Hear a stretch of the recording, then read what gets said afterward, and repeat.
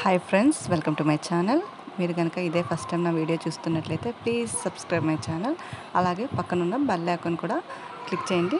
నేను చేసిన నోటిఫికేషన్స్ అన్నీ మీకు వస్తూ ఉంటాయి. మనం కొన్ని పనులు అయితే ఇంట్లో మాత్రం కంపల్సరీగా నీట్గా ఉంచుకోవాలి టైం సేవింగ్ అవ్వాలి అంటే కొన్ని అయితే మనం చేయాలి అండి. అది తప్పవు. సో అదేవిధంగా నేను కొన్ని ఐడియాస్ అయితే మీకు చూపించబోతున్నాను సో ప్లీజ్ వాచ్ అండ్ ఓఎల్ఎక్స్లో తీసుకున్నాను సెకండ్స్లో. ఇది చాలా బాగా నచ్చింది. ఓఎల్ఎక్స్లో చూడగానే ఆ కలర్ రోజ్ కలర్ అనమాట మొత్తం. రోజ్ వుడ్ అని చెప్పారు. మాకు అప్పటికి రోజ్ వుడ్ అంటే నాకు అయితే ఐడియా లేదు. సో ఇదేదో డిఫరెంట్ వుడ్లా ఉందని చెప్పి నేను తీసుకున్నాను. సో తీసుకున్నాక కొంచెం అయితే చూడడానికి చాలా ఓల్డ్గా ఉండేదన్నమాట. ఇది మాత్రం చాలా బాగుంది. ఆ సీట్ మాత్రం.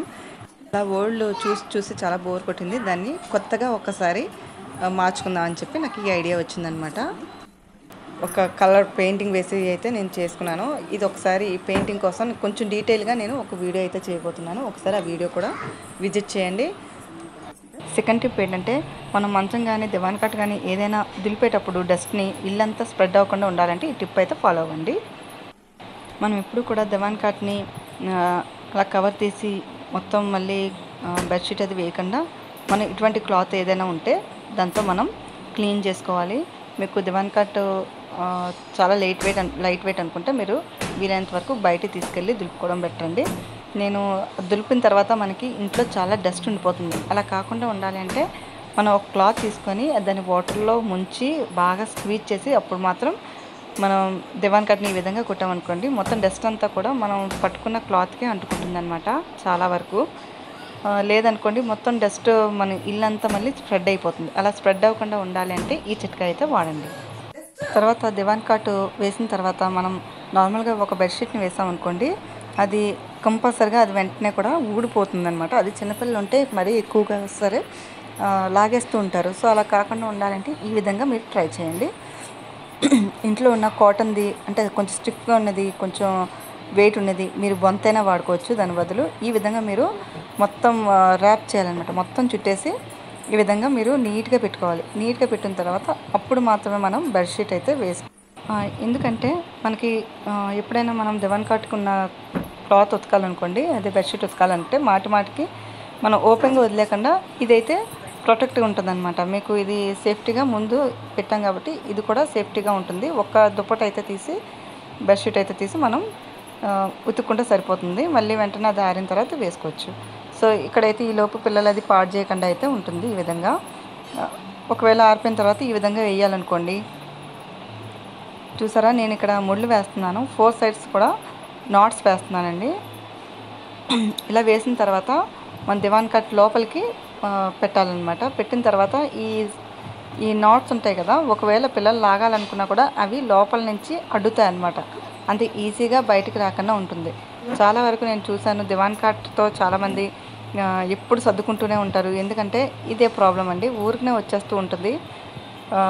అలాగే మీరు నేను ఇందాక ఫస్ట్ చెప్పిన విధంగా మీరు దివాన్ కట్ ఇలా పెట్టిన తర్వాత మాటి మాటికి తీసి క్లీన్ చేసుకోకుండా క్లాత్తో తడి క్లాత్తో మీరు ఈ, కుట్టేశారు అనుకోండి గట్టిగా రెండు మూడు సార్లు కుడితే మొత్తం డస్ట్ అంతా పోతుంది.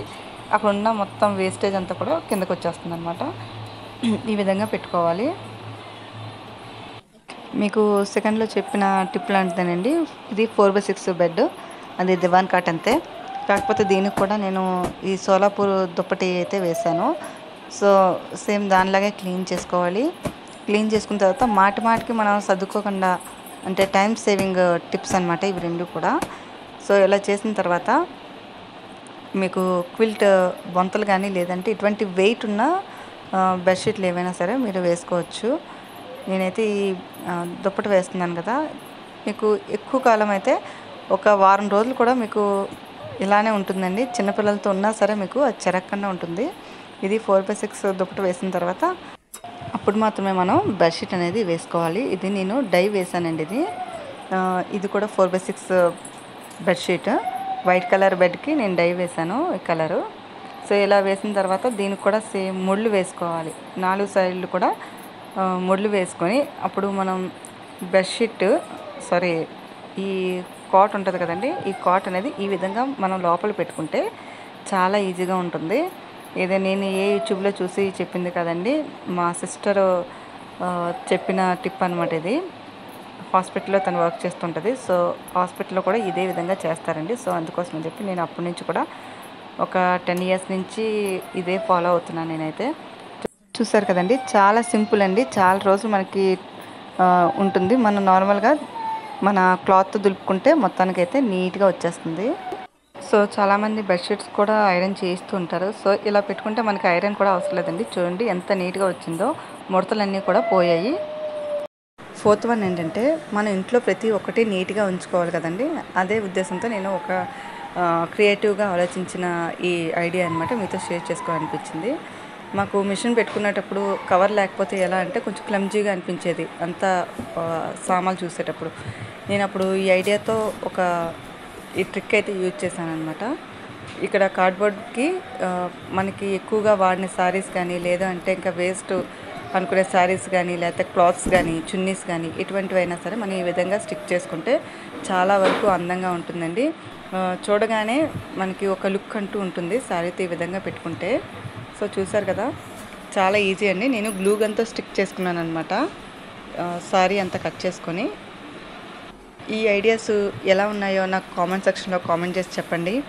అలాగే మీకు ఏదైనా ఐడియా కావాలి అనుకుంటే నాకు కామెంట్ సెక్షన్లో మీరు కామెంట్ చేస్తే నేను దానికి తగ్గట్టు ఐడియా ఆలోచించి నేను ఒక వీడియో తీసి అప్లోడ్ చేస్తాను. మీకు ఇంకొక విషయం షేర్ చేయలేదండి. నేను ఇది తయారు చేసి టూ ఇయర్స్ అయింది. నా ఐడియాస్ మీకు నచ్చినట్లయితే లైక్ చేయండి షేర్ చేయండి సబ్స్క్రైబ్ చేయండి. Thanks for watching.